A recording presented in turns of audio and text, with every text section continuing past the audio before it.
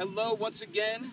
This is PJ Kaner, Golf Course Superintendent here at Santa Teresa Golf Club with one other installment of STTV.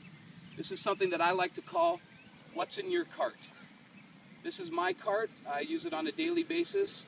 Everything kind of changes, but if you want to bring the camera in here, I'll show you what I'm doing today from my cart. First and foremost, as we transition from spring into summer, the needs of the golf course are here. Water.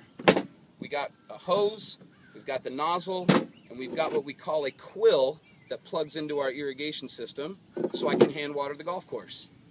All right, now let's go through here.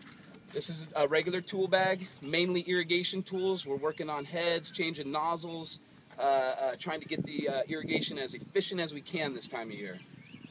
Uh, next, Stimpmeter. Uh, if you uh, look back at previous STTVs, you'll figure out what this is about. This helps us read the speed of the greens. Next is a soil probe.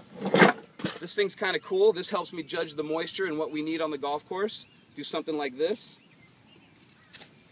Pull it out. And you can check the moisture here on your plug. We're plenty wet over here in this rough today. Plenty wet. All right, next. Every superintendent worth his grain of salt is going to carry one of these in his golf cart. This is a putter.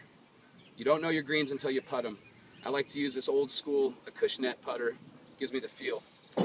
Also a 7 iron. You always want to check and see how your greens are holding shots. So go out about 150, 160, fire some shots in and make sure the greens are, are holding their shots.